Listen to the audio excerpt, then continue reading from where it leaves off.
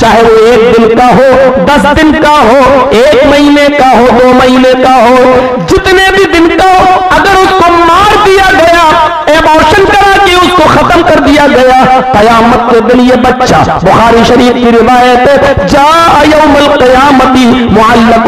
सदिया। ये बच्चा कयामत के दिन अपने माँ की दोनों पिस्तान, अपने माँ के दोनों छातियों से सीने से लटका हुआ आएगा। यकूल, और अपने माँ का दूध छोड़कर अल्लाह से शिकायत करेगा, या रब्बी हाजी उम्मी कतलतनी, अल्लाह ये मेरी माँ है जिसने दुनिया में मुझे मार डाला था। अल्लाह ये मेरी माँ है जिसने दुनिया में मुझे कत्ल कर दिया था।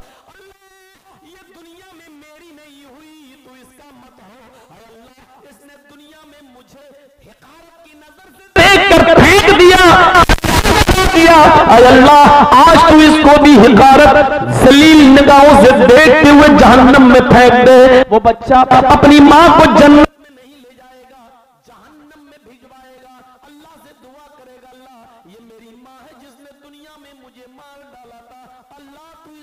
जहन्नम के अंदर दाखिल कर दे। अगर हमारी माँ बहनों में से किसी ने यह गलती की है तो तौबा और इस्तिगफार करें। अल्लाह को अगर रहम आ गया तो शायद माफ़ भी कर दे। तो मेरे प्यारे साथियों, सोचो, इतनी जहालत थी। अरब की सरजमीन पर अपनी बच्ची को भी कत्ल कर दिया करते थे? अपनी बच्ची को भी मार डाला करते थे। कोई सूरत हाल नहीं थी। इस माहौल में फिर जनाबी मोहम्मद रसूलुल्लाह आए, वेदों के कहने के मुताबिक कि ऐसे वातावरण में आखिरी नबी आएँगे। ऐसे माहौल में अल्लाह धर्म की रक्षा करने के लिए मोहम्मद रसूलुल्लाह सल्लल्लाहु अलैहि वसल्लम को मबूस फरमाएगा। कुरान है? कहीं पीछे। भिजवा दो। हम लोग। तो अंदाज़ा लगाइए।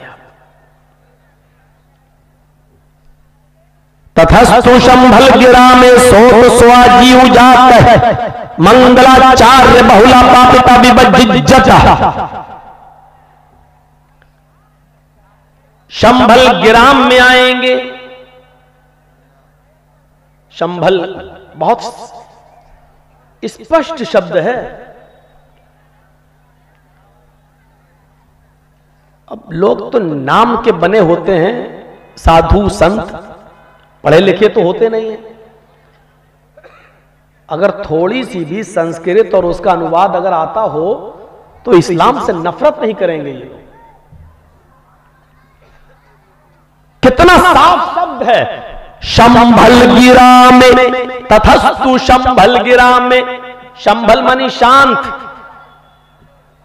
शम धातु से शम वर्ब से बना है संस्कृत में। शम वर्ब शम के माना शांत करना। जीरन है, मस्तर है, और शंभल एडजेक्टिव है। विशेषण है शंभल शांत, और ग्राम मानी। आप बोलते ना कभी कभी लेटर लिखते हैं तो ग्राम फला, पंचायत फला तो ग्राम मानी गाँव। विलेज अब दोनों को मिलाइए तो क्या होगा? शंभल ग्राम, शांति वाला गाँव। जिस गाँव में शांति हो अरबी में इसको क्या कहेंगे? शंभल ग्राम को अगर अरबी में ट्रांसलेट करो तो क्या कहोगे? अल बलदिल अमीन। अल बलद मानी शहर, गाँव, और अमीन मानी अमन वाला, शांति वाला। अल बलदिल अमीन, अमन वाला शहर। और मोहम्मद वसल्लम कहाँ पैदा हुए?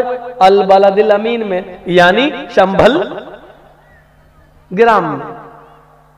कितना स्पष्ट है। और अल बलदिल अमीन, अल्लाह ने किसको कहा है? मक्का को। सीनीन। वहादल बलदिल अमीन। कसम में तीन की और जैतून की। कसम में इंजीर की और जैतून फल की। वपूर सीनीन और कसम में तूर सीना पहाड़ी की। और कसम में इस अमन वाले, इस शांति वाले शहर की मक्के की। अल्लाह ने कसम खाई। अल्लाह जिसकी कसम खाना चाहे खा सकता है। अल्लाह को कोई गुनाह या पाप देने वाला नहीं है। लेकिन इंसान और खास तौर पर मुसलमान अल्लाह के अलावा किसी दूसरे की कसम नहीं खा सकता। मन हलफ जिसने अल्लाह के अलावा किसी और की, गैरुल्लाह की कसम खाई, उसने शिरक किया। खाओ बेटा कसम। औलाद कसम बाप कसम अम्मा कसम। बहुत से लोग तो गुस्से में कहते हैं बीवी की कसम मरेगी तो ये मरे। हाँ हमारा एक दोस्त था मैंने कहा तुम बात बात पर कहते हो मेरी बीवी की कसम क्यों? बहुत परेशान हूँ यार सच। कभी कभी झूठी भी कसम खा लेता हूँ ताकि मरे तो ये मरे। कुरान ने जिसको सुकून कहा है और आदमी उसको मुसीबत समझता है। कल भी मैंने ये सुनाया था कि एक जुमे का खुतबा सुनकर मौलाना साहब ने कोई खुतबा दिया होगा नमाज़ में, जुमे में, और जुमा का खुतबा सुनकर एक आदमी बेचारा अपने घर आया और अपनी बीवी को गोद में उठा के नाचने लगा। गोद में। बीवी कहती, क्या बात है, आज तो बड़ा रोमांस कर रहे हो। रोमांटिक मूड में हो? क्या मौलाना साहब ने मोहब्बत पर खुतबा दिया है? रोमांस पर खुतबा दिया है? तो आदमी बोलता है नहीं आज मौलाना साहब ने खुतबे में बड़ी अच्छी बात कही है। का क्या? कहा मौलाना साहब ने कहा कि जो अपनी सबसे बड़ी मुसीबत को खुशी खुशी उठाएगा वो सीधे जन्नत में जाएगा। तो मैं अपनी सबसे बड़ी मुसीबत को खुशी खुशी उठा रहा हूँ ताकि जन्नत में चला जाओ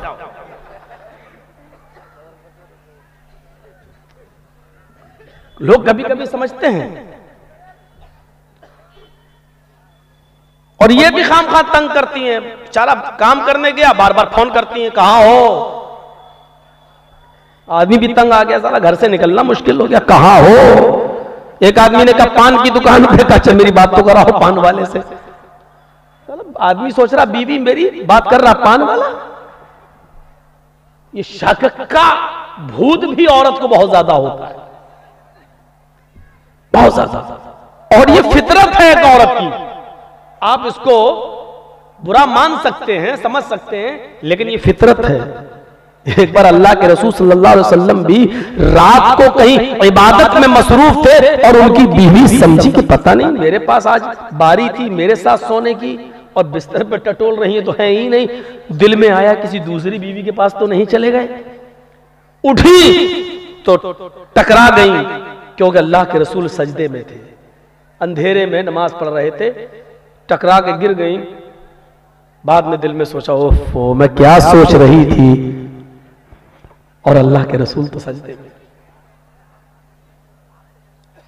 ये डाउट शक एक फितरी चीज़ है, हो सकता है औरत के अंदर हो। हमारी और आपकी कोशिश ये होनी चाहिए कि औरत को शक का, अपनी बीवी को शक का मौका न अब ज़ाहिर बात है कि घर में ऐसे मैसेज पढ़ोगे और मुस्कुराते जाओगे। तो बीबी तो शक करेगी।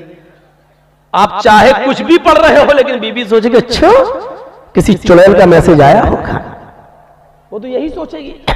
तो आप शक का मौका नहीं दीजिए, जहाँ तक हो सके बचिए। लेकिन फिर भी वो शक करेगी। आदत जल्दी बदलती नहीं।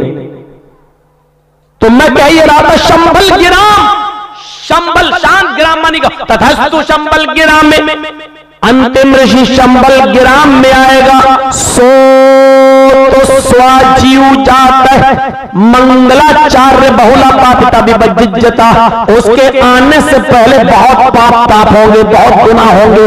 लेकिन वो आएगा तो पाप ताप को मंगलाचार नेकियों में बदल देगा, पाप ताप मिटा देगा और नेकियों का मंगलाचार नेकियों का काम शुरू होगा, यानी बुराइयों को खत्म कर देगा और नेक काम शुरू होंगे, यानी नेकियों की तरफ़ वो लोगों को बुलाएगा, मंगलाचार। अरब के अंदर मोहम्मद साहब के आने से पहले कितने पाप ताप थे एक नक्शा में बता चुका हूँ। तोहीद में तो इतना बिगाड़ पैदा हो चुका था कि लोग 360 खाने काबा में मूर्तियाँ रखे हुए थे। वो मूर्तियाँ नहीं, बुज़ुर्गों की मूर्तियाँ थी।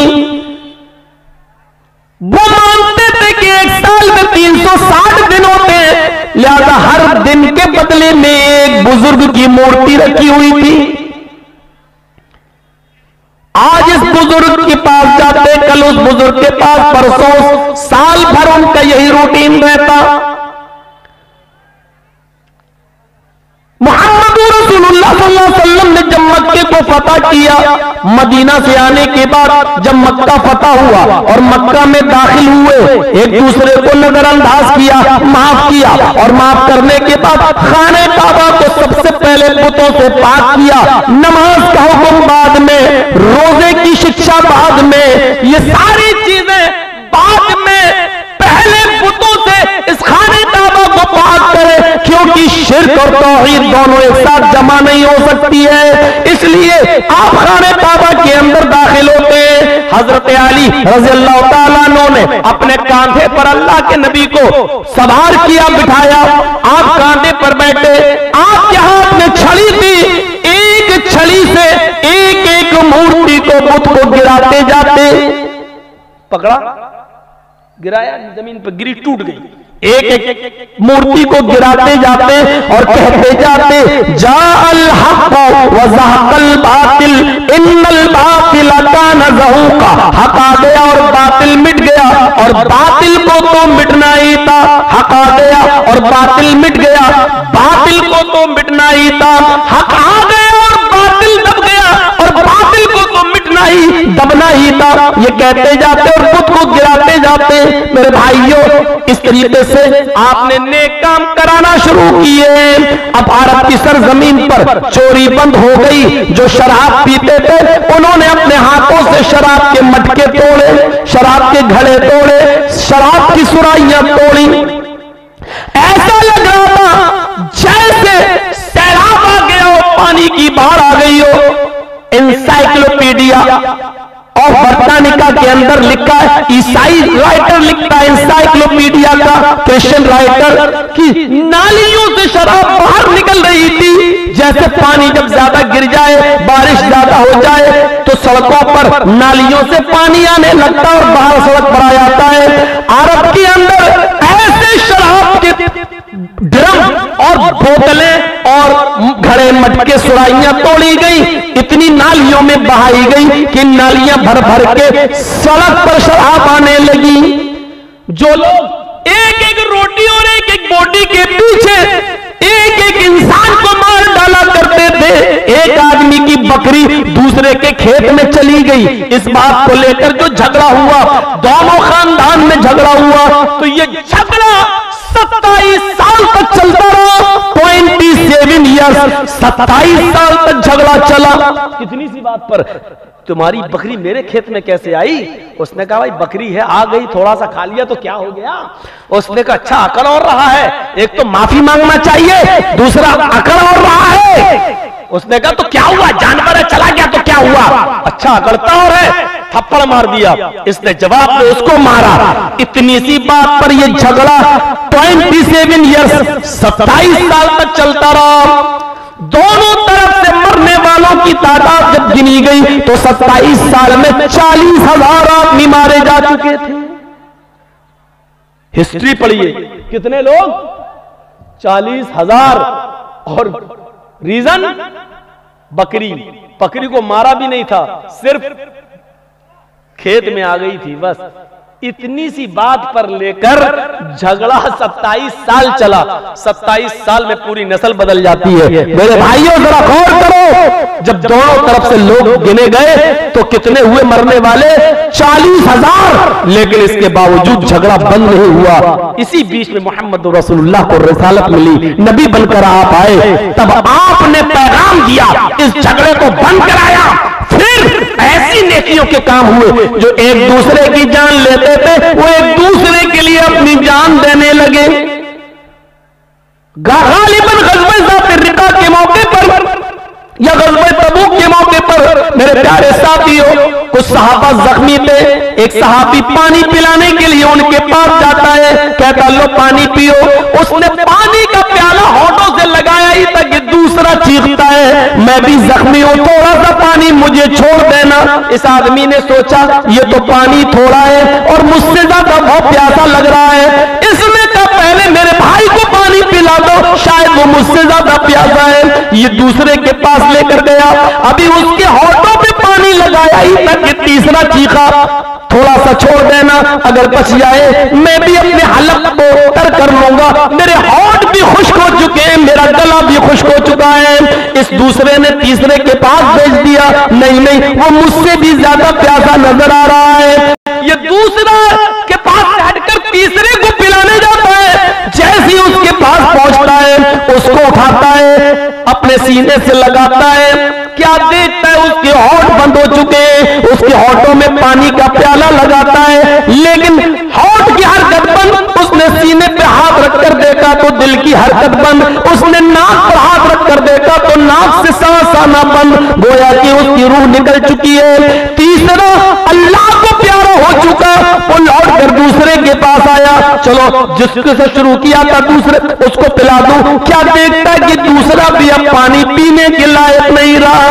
आया से शुरू किया, उसको ही पिलाकर, उसको एक नई ज़िंदगी दे दूँ। जब पहले के पास लौट कर आता तो क्या देखता है कि वो पहला आदमी भी अपनी जान जाफरी के सुपुर्द कर चुका है। आब हयात से अपना पानी, अपनी प्यास बुझा चुका है। गौर करो मेरे प्यारे साथियों, जो एक एक बकरी के लिए सत्ताईस साल लड़ते थे और चालीस हज़ार लोगों के मरने के बाद भी जंग बंद नहीं होती थी। वो लोग एक दूसरे के लिए अपनी जानें देने लगे, एक दूसरे के लिए अपनी कुर्बानियाँ देने लगे, एक दूसरे के लिए मरने लगे, एक दूसरे के लिए अपनी जान निछावर करने लगे।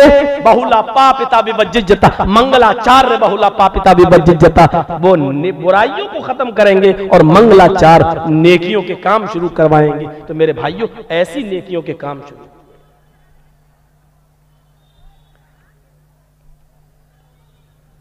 तच्छुदवा पुंडरीकाच ब्राह्मण विदम्बरीति भवने शंबलो विष्णु यशस गृह स्वमति प्रादुर्भाव्यम।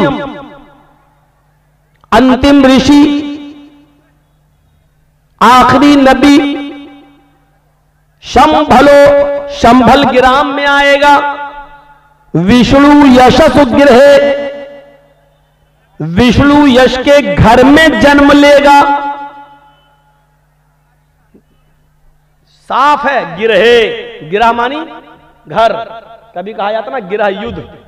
यानी घर के अंदर लड़ाई। विष्णु यशसो गिरहे, शंभलो विष्णु यशसो गिरहे। शंबल गिराम में आएगा, विष्णु यशसो विष्णु यश के घर में आएगा। सुमति प्रादुर्भाव्यम और सुमति के पेट से पैदा होगा, सुमति के पेट से जन्म लेगा। कुछ रह ही नहीं गया। 18-20 साल से तकरीरी दुनिया की लाइन में हूँ। हो सकता है बाईस सालें हो गई हों। लोग बता रहे हैं कि यहाँ एक बार और आप आ चुके हो। कोई कह रहा, बीस साल पहले, कोई कह रहा, बाईस साल पहले। मैंने कहा, ज़्यादा मत बताओ। अब मुझे एहसास हो रहा है कि मेरी उम्र कितनी हो गई होगी। हमें तो याद ही नहीं आ रहा है कि हम कब आए थे। ठीक है, मैं मालूम है, लेकिन अब वो 18 साल है कि 20 साल है, ये एग्जैक्ट नहीं बता सकते कि कितना बरल चलिए, आए थे आए थे। बस मकसद ये है कि आए थे। तो मेरे भाइयों, इतने दिनों से रामायण, गीता सब कुछ पढ़ते हैं, तकरीरें यूट्यूब पे पड़ी हुई हैं और सरकार भी कौन सी है? डॉक्टर जाकिर नाइक जैसी शख्सियत को भारत छोड़ के जाना पड़ा। अगर ये हमारे वेदों के मंत्रों में एक भी कहीं गलती निकाल देते तो आज हम पता नहीं कहाँ होते। अपनी बेल भी हम करा पाते कि नहीं करा पाते जमानत भी होती कि नहीं होती। ये बड़ा अजीब हालात हैं। एक बार बस में बैठ के सफ़र कर रहा था पुलिस वाला आया, कहता, सीट छोड़ो, हटो, हम बैठेंगे। हमने कहा, भाई, हम पहले आए, आप भी बैठ लो, हट, हम बैठेंगे हमने कहा, भाई, मैं आपको कहता रहा हूँ बैठ जाओ, लेकिन हमें क्यों उठा रहे हो? कि उठ रहा है या नहीं उठ रहा या तुझे बंद कर दे अभी जेल में जाकर मैंने कहा, मैंने कोई चोरी की है जो बंद करेंगे आप? तो उसने कहा, चोरी करता कौन है? अभी दस किलो अफीम तेरे बैग में डाल देंगे। अभी दस ग्राम, सौ ग्राम अफीम तेरे बैग में डाल देंगे और कह देंगे, इसके पास से निकलिए जमानत नहीं करा पाओगे। हमारे पास सब कुछ रहता है। मैंने कहा, भैया, आ जाओ, बैठ जाओ। भाई, हालात है। क्या करेंगे आप? अपने आप को बचा लो, यही बहुत बड़ी बात है इस दौर में। वरना हालात बहुत खराब थे। और बंगाल में आप लोग अक्लमंद थे और अक्लमंदी का सबूत दे गए। यूपी वालों को समझा समझा के थक गया हूँ मैं। अब करें क्या? आप लोग कुछ और खाते हैं, वो कुछ और खाते हैं। वहाँ भैंस चलती है और भैंस तो बुद्धि खराब होती है, कम होती है। क्योंकि खोपड़ी में नहीं बैठ रही। है साहब, हमारा, हमारी भी एक वो होनी चाहिए। अरे होनी तो चाहिए, उसका इनकार कौन कर रहा है? लेकिन ये तो देखो, इस वक्त ज़रूरत क्या है? हाँ? जर्जी साहब के पैर में कैंसर है। डॉक्टर कह रहा, पैर कटाओ। जर्जी साहब कह रहे, नहीं, हमें भी दबा दो, हमें हमें भी हक है जीने का। अरे पहले पैर कटा के जान तो बचा। अगर पैर नहीं कटाएगा तो जान नहीं बचेगी तेरी। अकलमंदी यह है कि सीना तान कर खड़े मत हो। जान बचाना है तो पहले पैर कटा लो। नहीं तो पैर बचाने के चक्कर में पैर तो जाएगा ही जाएगा, जान भी जाएगी। इस वक्त यह कंडीशन थी हमारी। सुना ना आपने वो एक बड़ा दिलचस्प लतीफा था, एक जंगल में शेर, भेड़िया। भेड़िया जानते हैं ना? और लोमड़ी, फॉक्स। इंग्लिश में फॉक्स कहते हैं, आप क्या लोमड़ी नहीं तो गीदड़ समझ लो। सियार। हम अब सियार में और लोमड़ी में हम कुछ फ़र्क समझते हैं, लेकिन अब एक हो तो आप, वो आप समझे। फॉक्स, उसको इंग्लिश में फॉक्स कहते हैं। अब क्या है वो आप समझिए। हाँ चलिए, सियार मान लिया, चलिए। तो जंगल में तीनों जानवर शिकार करने निकले, शेर भेड़िया और लोमड़ी, और तीनों ने शिकार किया। शेर ने हिरन मारा। हिरन, डियर। और भेड़िए ने बकरी मारी, और लोमड़ी ने खरगोश। तीनों जानवर मरे पड़े हैं। शेर आ गया। शेर ने तीनों जानवर देखे।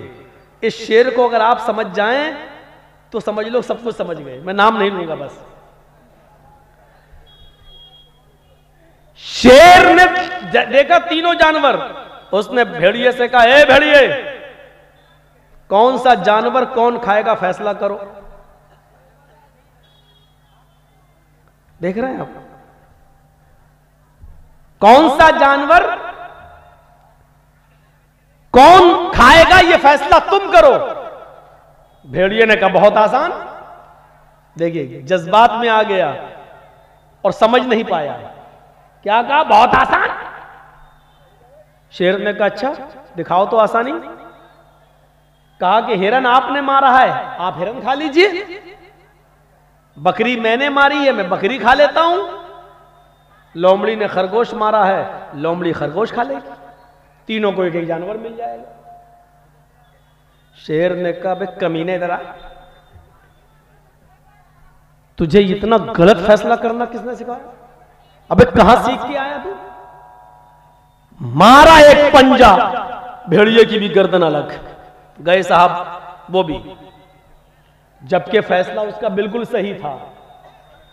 भेड़िए ने गलत फैसला नहीं किया था। फैसला सही किया था, लेकिन वो शेर के जुल्म को पहचान नहीं सका था।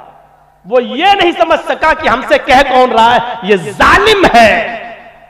शेर फैसला उसने सही किया। तुम ये खा लो, तुम ये खा लो, तुम मैं ये खा लेता हूँ, भेड़ लोमड़ी ये खा लेगी। फैसला सही था। लेकिन सही फैसला करने के बावजूद क्या हुआ? राम राम सत्य। गए काम से। लोमड़ी से कहा, लोमड़ी, कमी ना, फैसला करना। पता नहीं कहाँ से सीख क्या है? तुम फैसला करो, सही फैसला क्या है? तुम अकलमंद हो। तुम सही फैसला करो क्या है? लोमड़ी ने भेड़िए की कटी हुई गर्दन देखी, कहती है, बहुत गलत फैसला करा था उसने। उसको तो कुछ आता ही नहीं। तो शेर ने कहा तो तुम सही फैसला करो ना। अब शेर का इरादा यह था, भेड़िया भी अब चार जानवर हो गए। और लोमड़ी ने जो कहा, तीन तुम खा लो या दो तुम खा लो, दो हम तो इसको भी मार डालेंगे। और सिर्फ़ पाँचों जानवर हमारे। शेर की नज़र ये थी, लोमड़ी से कहा तो तुम करो ना फैसला। लोमड़ी ने कहा, बहुत अच्छा आसान है। ये तो कमीना कुछ जानता ही नहीं था। तो कहा अच्छा सही फैसला क्या? का सही फैसला क्या आप जंगल के राजा हैं, ये तीनों जानवर आपके हैं। सुबह आप हिरन खा लीजिए। शाम को जब भूख लगे तो बकरी खा लीजिए। और दोपहर में जब भूख लगे तो मुँह का टेस्ट बदलने के लिए खरगोश खा लीजिए, और अब तो भेड़िया भी आपका है, ये भी। ये तो आपका है। इस कमीने को मालूम ही नहीं था। शेर ने कहा, वाह, लोमड़ी, वाह, ये है सही फैसला। अरे, तू ये बता कि तुझे इतना अच्छा फैसला करना किसने सिखाया है? कहाँ से तू सीख के आई इतना अच्छा फैसला? लोमड़ी ने कैसी भेड़िए से सीखा है, जनाब। इसी भेड़िए से सीखा है। यानी हालात और वक्त का तकाजा ये कह रहा है कि अगर सही फैसला मैं करूँगी तो मैं भी भेड़िए की तरह मारी जाऊँगी। इस भेड़िए की कटी हुई गर्दन ने मुझे हालात से समझौता करना सिखला दिया है। भूखा रहना, गवारा करने पर मजबूर कर दिया है। लेकिन अपने आप को बचाना यह हमने ज़रूरी समझा है। तो अब ये बताओ कि भेड़िया अकलमंद था कि लोमड़ी अकलमंद थी। हक बात बोलकर, सच बात बोलकर भेड़िए ने अकलमंदी का सबूत देना चाहा, लेकिन क्या हुआ? मारा गया। और लोमड़ी ने फैसला गलत ज़रूर किया था। लेकिन वक्त का तकाजा यह था कि पहले अपने आप को तो बचाओ। अगर कुछ ऐसा फैसला किया तो जब हम ही नहीं रहेंगे तो फैसला करने से फ़ायदा क्या है? तो मेरे भाइयों, लोमड़ी ने अकलमंदी का सबूत दिया। उसने अपने आप को बचा लिया और कहा कि सारे जानवर आपके, आप जंगल के राजा खाइए। तो शेर को, यानी तारीफ़ कर दी। आज यही तो हो रहा है, जो तारीफ़ कर रहा है, वो गंगा में नहा रहा है। उस, वो वॉशिंग मशीन में धुल के निकल रहा है। और जो तारीफ़ के पुल नहीं, आप देखिए, अकल देखिए आप, कैसी मारी गई। और मीडिया वालों की भी अकलें देखो कैसी मारी गई। जो अपना जिस्म छिपाकर स्कूल जा रही है, कॉलेज जा रही है, उस पर हंगामा कर रहे हैं। लफड़ा खड़ा कर रहे हैं। जो एक समाज को सभ्य बनाने में मदद कर रही है, उसके लिए हंगामा हो रहा है। और जो अपने कपड़े उतार रही है, उसको पद्मश्री अवार्ड दिया जा रहा है।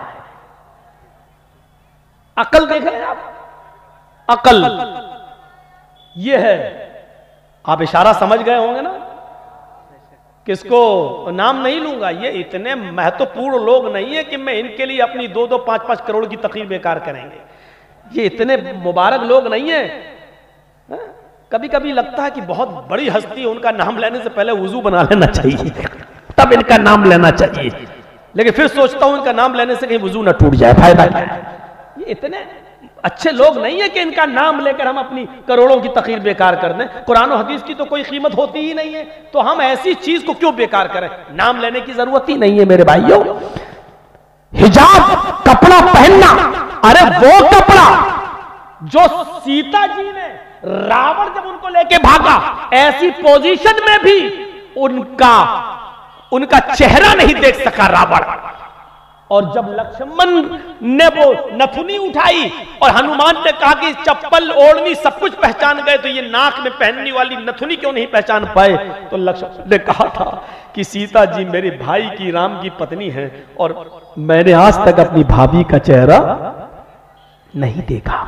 जिस पर्दे को हिंदू धर्म ने इतना ज़्यादा स्वीकारा हो कि रामचंद्र की, की पत्नी सीता जी का चेहरा राम के छोटे भाई लक्ष्मण देखा हो, सभ्य समाज की स्थापना कपड़ा करता है। औरत उस वक्त सबसे ज़्यादा अच्छी होती है जब वो सबसे ज़्यादा कपड़ा पहने हुए हो। और सुनो, जो औरत जितना ज़्यादा कपड़ा अपने जिस्म पर पहनेगी वो उतनी ही ज़्यादा सभ्य और तहजीब वाली कहलाएगी। और जिस औरत के जिस्म पर जितने शॉर्ट कपड़े होंगे, वो उतनी ही ज़्यादा समाज के लिए कलंक होगी और दागदार बनाने वाली होगी। और वो अमीर बाप की बेटियाँ, ये भी सुन लो, ये भी पहचान मैं आपको बता रहा हूँ, जो जितना अमीर होगा बाप, एक पहचान नोट कर लो, जिसका जो बाप जितना अमीर होगा, जिसके पास जितना पैसा होगा आप उस अमीर बाप की बेटी को उतने ही शॉर्ट कपड़ों में देखोगे उतने ही कम कपड़ों में देखोगे। बाजारों में फिरने वाली अपनी टांगे दिखाने वाली अपनी रान दिखाने वाली स्कर्ट पहनने वाली और ब्लाउज पहनने वाली लड़कियाँ जिसके जिस्मों पर जितना कम कपड़ा हो आप समझ लेना कि ये उतने ही बड़े बाप की बेटी है ये उतने ही अमीर बाप की बेटी है। कल तक ये अमीर लोग हम गरीबों की लड़कियों को नचाते थे। अल्लाह ने ऐसा आज़ाद नाजिल किया है कि, आए अमीरो, तुम अमीर होने के बाद भी तुम अपनी लड़कियों को फुल कपड़ा नहीं पहना पा रहे हो। हमने तुम्हारी लड़कियों को नंगा कर दिया है। जो चाहता है तुम्हारी लड़कियों को देख रहा है। जो चाहता है उनके गाल पर, उनके होठों पर, उनके पैरों पर, उनकी रान पर, उनकी कमर पर, उनके जिस्म पर नज़र डाल लेता है। एक रिक्शा चलाने वाला, एक हकीर दर्जे का आदमी भी तुम्हारी अमीर की बेटी को आँखों से देख रहा और दीदार कर रहा है और अपनी आँखों को सेक रहा है उनके दीदार से। अल्लाह ने यह सजा दी है। इन अमीरों को, उनकी बेटियों को नंगा कर दिया है। ये कड़वे अल्फाज है। चौधरीओ तुम्हें सुनना पड़ेगा। सरमायादारों तुम्हें सुनना पड़ेगा। अगर तुम सरदार हो, अपने समाज के तो तुम्हें सुनना पड़ेगा। ये कड़वी बात ज़रूर है, लेकिन हकीकत है और सच्ची है। तुम्हें क्या तुम्हारे बाप को भी सुनना पड़ेगा? जब तक मैं इस कुर्सी पर बैठा हूँ, ये पावर मुझे शरीयत ने दिया है, इस्लाम ने दिया है। मोहम्मद रसूलुल्लाह के पावर ने से हमें मिला है, कुरान हदीस की ताकत ने हमें दिया है। और इस हक को हमसे कोई नहीं छीन सकता है। ये मस्जिद का चंदा हो रहा है। कुछ लोग चादर लेकर आपके बीच जा रहे हैं। आपसे गुजारिश है कि मेरी भी कुछ बात रख लीजिए। हदीस के अल्फाज है कि मम बना लाही मस्जिदन बैतन फिल जन्ना जो दुनिया में अल्लाह का घर बनाएगा मस्जिद अल्लाह जन्नत में उसका घर बनाएगा। यानी जन्नत।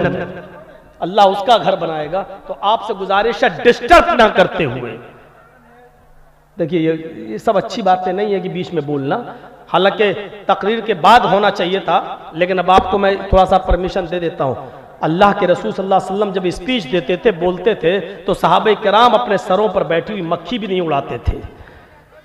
ये हम और आपके कलेजे और दिल है कि बात कर रहे हैं। इधर नोट गिने जा रहे हैं करेंसी गिनी जा रही है और उसकी पैसों की आवाज़, बोलने वाले के कान तक आ रही ये हमारे दिल और गुर्दे हैं जो इतना बड़ा कारनामा हम अंजाम दे रहे हैं। वरना अल्लाह के रसूल के जमाने में जब नबी बोलते थे तो साहबा अपने सरों पर बैठी हुई मक्खी भी नहीं उड़ाते थे। कि कहीं कुरान की बात ना निकल जाए, कहीं डिस्टर्ब ना हो जाए, कहीं ऐसा तो नहीं कि हम कुरान हदीस की बात सुनने से महरूम रह जाए। ये सोचने वाली बात है। आइंदा जब जलसा आप करिएगा तो इन लेडीज़ को औरतों को बहुत दूर इनका इंतज़ाम करिएगा। इतनी दूर कि उनकी आवाज़ जल से गाह तक ना आ सके। जब आप अपनी औरतों से खुश नहीं हैं, जब वो घर में चुप नहीं रहती हैं तो यहाँ चुप रहेंगी। आप नहीं जानते हैं औरत कैसा ट्रांजिस्टर है। ये बंद हो ही नहीं सकता। एक आम के पेड़ के नीचे दो औरतें बातें कर रही थी, एक आम टूट के गिर गया। एक औरत बोली, ये कैसे गिर गया? ऊपर से कैसे गिर गया? दूसरी औरत कुछ बताने ही वाली थी कि आम खुद बोला, तुम दोनों की बातें सुन सुन के पक गया। इसलिए गिर गया। तो ये हाल है औरतों का, और जलसे के बगल में आपने इनको लाके खड़ा कर दिया। आज तो मौका मिला है इनको अपनी साड़ी दिखाने का, चप्पल दिखाने का, पर्स दिखाने का। आज तो बता रही हूँ कि हम फला दुकान से लाए, तुम भी फला दुकान पे चली जाना। आज तो मौका मिला है उनको। और इतना अच्छा मौका बिचारी कहा मौलाना जर्जीज की तकीज सुनने में लगाएँगी, इतना अच्छा मौका छोड़ देंगे आज मछलियाँ नहीं बिकेंगी तो कब बिकेंगी? देख रहे हैं? वो समझ ही में नहीं, समझ ही नहीं पा रही कि हम बोल क्या रहे हैं। बस वो स्क्रीन पे देखने आई है कि हाँ कोई है मौलाना जो बोलता है बस। बस ये सुनने आई हैं। मेरी माँ बहनों को सुन लो थोड़ा सा। अब तो सीरियल देखती होगी, इसलिए समझ रही होगी थोड़ी बहुत मेरी बात। औरतें आजकल सीरियल बहुत देखती हैं और सीरियल देख देख के ही तो हुकूमत कर रही है। हाँ? एक नाटक बनाती थी, आज मंत्री बनी बैठी है। सास भी कभी बहू थी। हाँ? ऐसे ऐसे तो मेरे भाइयों, मैं कह ये रहा था कि अक्लमंदी का तकाजा यह है कि पहले आदमी अपने आप को बचाए। जब आप बचोगे तभी मसलहत बड़ी अजीब चीज़ होती है। अल्लाह के नबी सल्लल्लाहु अलैहि वसल्लम के पास एक साहबी आए और कहा नए नए मुसलमान हुए थे। कहने लगे, अल्लाह के नबी मेरे अंदर चार गुनाह पाए जाते हैं, लेकिन चारों एक साथ नहीं छोड़ सकता हूँ। देखिए, जबकि बुराइयाँ चारों हैं। कहा, अल्लाह के रसूल मेरे अंदर चार बुराइयाँ पाई जाती हैं, लेकिन चारों नहीं छोड़ सकता। आप कहें तो एक छोड़ दूँगा। तो आपने कहा अच्छा पहले बताओ तो कि क्या है वो चार बुराइयाँ? का अल्लाह के रसूल, मैं शराब पीता हूँ। शराब पीने के बाद फिर मैं जिना करता हूँ। जिना से फारिग होता हूँ तो फिर मैं चोरी करता हूँ। आपने कहा, और चौथी बुराई? का चौथी बहुत छोटी है। का क्या? कि मैं झूठ बहुत बोलता हूँ। ये चार बुराइयाँ मेरे अंदर पाई जाती हैं। अब आप बताइए, आपके कहने से एक छोड़ सकता हूँ। तो अल्लाह के रसूल को चाहिए तक कहना चाहिए चारों इस्लाम में हराम है, चारों छोड़ो। लेकिन आपने कहा, अगर चारों कह दूँगा तो वो एक भी नहीं छोड़ पाएगा। अभी वो ये तो कह रहा कि एक छोड़ दूँगा। अगर मैं कह दूँ सख्ती कर दूँगा तो गुस्से में भाग जाएगा। नहीं नहीं, हम चारों नहीं छोड़ पाएँगे। तो फिर फ़ायदा क्या है? आया हुआ शिकार हाथ से निकल जाएगा। देखिए, मसलहत देखिए क्या, हिकमत देखिए। जबकि हराम चारों हैं शराब भी हराम जिना भी हराम चोरी भी हराम झूठ भी हराम। लेकिन अल्लाह के रसूल ने चारों सुनने के बाद कहा अच्छा एक छोड़ सकते हो कहा? कहा कि फिर झूठ छोड़ो हंसता बड़ी तेज़ी करके। आपने कहा क्यों हंस रहे हो? कहा मैं तो आपको बड़ा अकलमंद समझता था। आप शराब छुड़वाते तो मेरे लिए मुश्किल होता। जिना कहते तो जिससे दोस्ती है मेरी लड़की से उसको छोड़ना मुश्किल होता। चोरी छुड़वाते तो मुश्किल होता, क्योंकि उसी पर मेरा गुजर बसर चलता है। चोरी करता हूँ तो बच्चों को खिलाता हूँ। तो मेरे लिए मुश्किल होता। आपने तो मामूली चीज़ बता दी, झूठ। नहीं नहीं नहीं, आप ठीक है, आप बहुत अच्छा हुआ, आपने ये बताया, ये तो छोड़ ही दूँगा मैं। मैं तो बहुत अक्लमंद समझता था, लेकिन आपने तो मामूली चीज़ बताई। ठीक है हाँ हाथ बढ़ाइए अपना। आपने हाथ बढ़ाया, उसने हाथ मिलाया और कहा, अल्लाह के रसूल